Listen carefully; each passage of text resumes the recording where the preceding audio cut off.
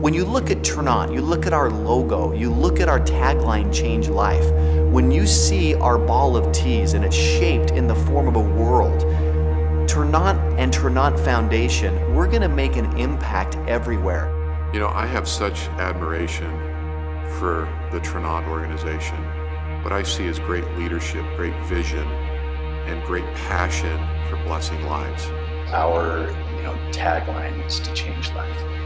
And our mission and vision is more oriented towards changing the world's economy one household at a time. Overall, our vision is to change a billion people's lives, touch a billion people over the next 20 years, and our foundation really gives people the opportunity to do that.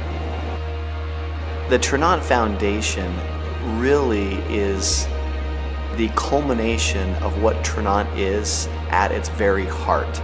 We want to give people the opportunity to say, hey, I can participate in my backyard and I can have an impact there. I can participate in domestic activities and have an impact there. I can participate in international activities and I can see where my money goes. It really is not limited to one specific project or one specific mission. As a foundation, we're looking to make an impact on a billion lives. And for that, there's too many projects we need to do.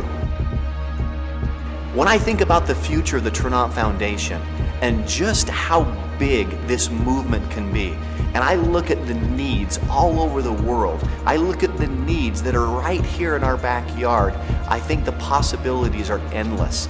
We're here to do big things. Can you imagine the day when we have a million Tranont associates out on any given day working and giving service and building and lifting an individual community all over the world? That's powerful. It's special.